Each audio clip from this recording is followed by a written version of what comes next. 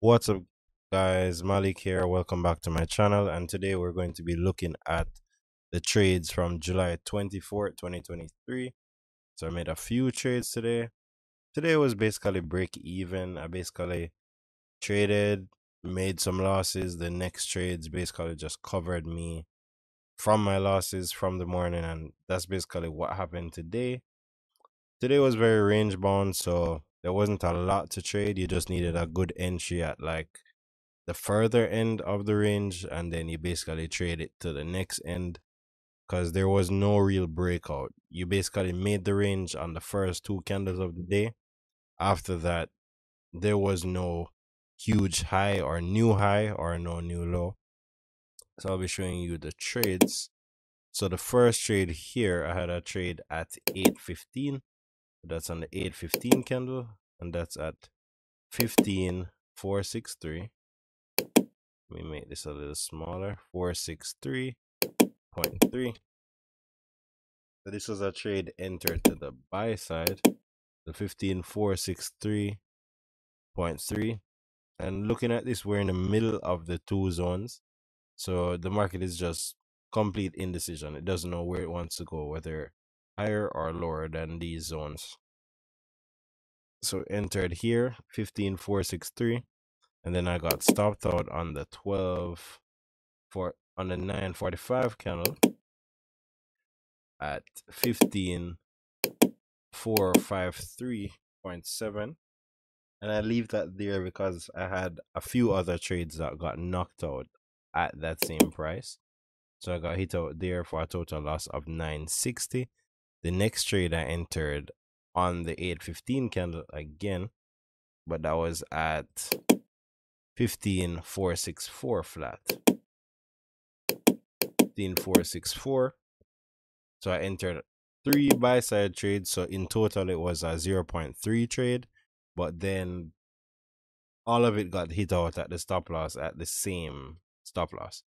So I entered this one at 15464 for a total loss of 1030 and then the next one I entered at 15464.1 for a loss of 4.30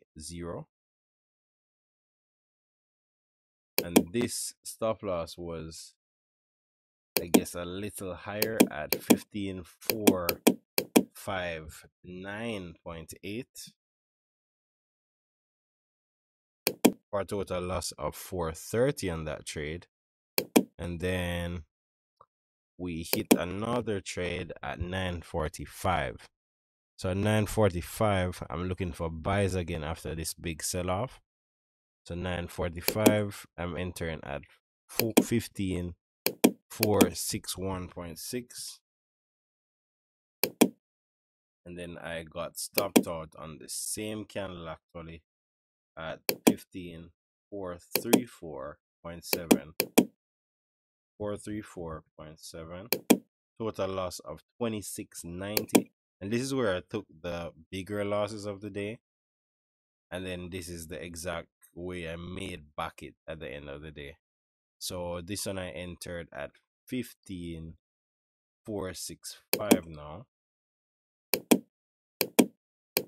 465 then I got stopped out at 15 4347. And then the next one now I entered two the buy side again at 15 463.9. Then I got stopped out at the same place here.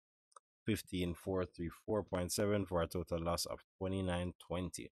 And then the next one, I had another buy side trade on the 945 candle, 15404. So this is where I got a nice entry at the bottom there. And then it's looking like I got stopped out or I quickly closed this trade at 15 15399 for a total loss of 530 so i quickly close this trade looking it would look like it was going to go against me so i quickly closed this trade.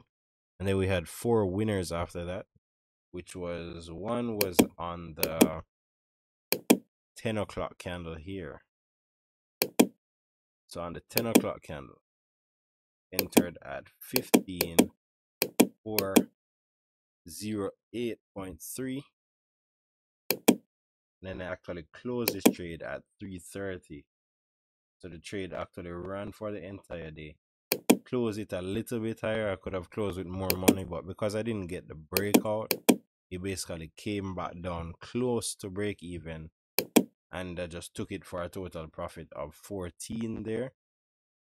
The next one i entered on the 945 and that was at 15403 flat and then I close this one manually on the 330 candle again at 15437 total profit of 34 there. And then I opened another trade on the 945 again 15400.6 then I closed it on the 930 here at 15436.7 total profit of 3610 and then I had another trade. So all of these trades were made basically on the same candle except for the last one where I had a smaller position so I was able to hold that trade a bit little longer, but because I didn't close it at the higher point of the range, I did not capitalize the most on that trade.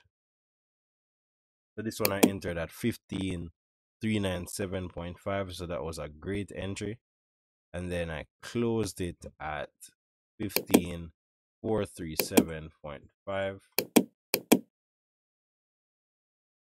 15437.5 total profit of 40 on that one.